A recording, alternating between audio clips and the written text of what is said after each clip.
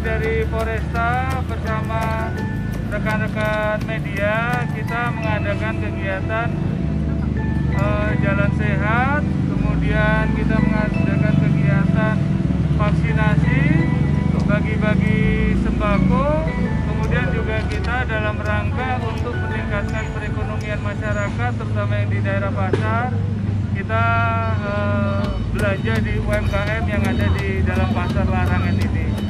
Seperti itu. Seperti kita ketahui bahwasanya banyak masyarakat yang terdampak daripada COVID dan alhamdulillah kita di Kabupaten Sidoarjo kita sudah bisa mulai mengendalikan daripada penyebaran COVID ini. Tapi kita masih harus tetap waspada.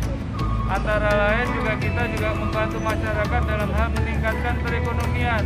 Kita belanja, kita giatkan belanja di pasar-pasar.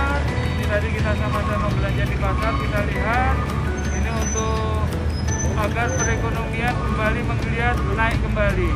Di samping itu kita juga mengadakan himbauan-himbauan, penyuluhan-penyuluhan kita sampaikan apabila masih ada di dalam pasar ini para penjual ataupun juga para pembeli yang belum vaksin, kita laksanakan vaksinasi di tempat. Assalamualaikum warahmatullahi wabarakatuh. Terima kasih kepada Bapak Kapolres yang yang memberikan vaksin di tempat nama saya. Semoga sehat selalu dan